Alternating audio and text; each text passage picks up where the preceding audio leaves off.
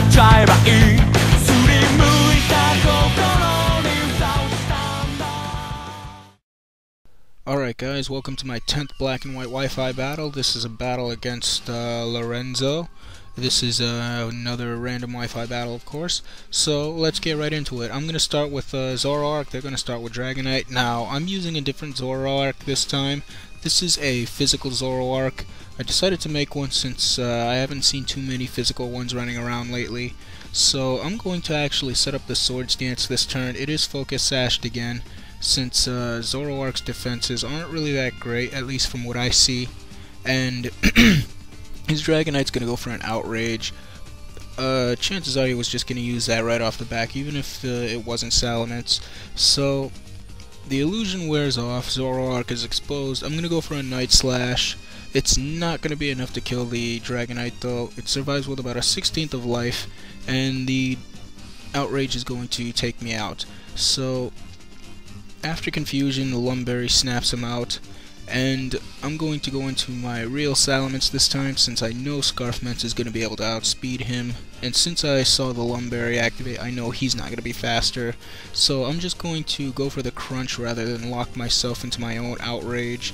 I felt that it was too early to do that, and since uh, Dragonite was already weak to begin with, there was no point in really doing that. So I went for a crunch and took out the Dragonite. Now he's going to go into Arcanine.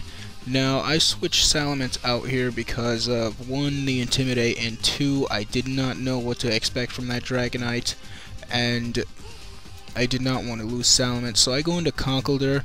Now my Conkeldurr is raised in several stats. It's raised in hit points, attacks, defense, and special defense. I spread the EVs all over the place. So it's not as effective as the other Conkeldurrs that you normally see, but uh, I just switch it out since I saw how much Flare Blitz did to it, and go back into my Salamence. He goes for uh, Flare Blitz again. It's not going to do anything to Salamence. It only does about a fourth of damage. Now I'm going to go for an Earthquake this turn, knowing that it'll definitely take out the Arcanine. He's going to go for Extreme Speed to get some last uh, minute damage, which isn't much. I'm going to Earthquake. That's, of course, going to take out the Arcanine. So he's down to his final Pokemon, which is uh, Torterra. Now, Torterras are bulky, and I did not know what to expect.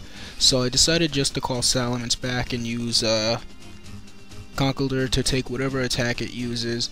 So he ends up going for a Rock Polish, which is something I should have expected, but uh, just didn't think about it.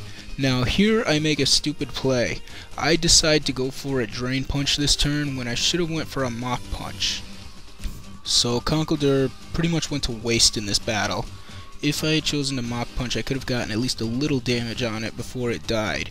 But uh, I made one mistake and I just had to live with that. So I'm going to go for the Outrage, lock myself in now since it's my last ditch effort. He survives with about one point. He's going to go for a Wood Hammer and he's going to end up uh, suiciding himself. So I take this battle. So that's it guys and I will see you next time for my next black and white Wi-Fi battle.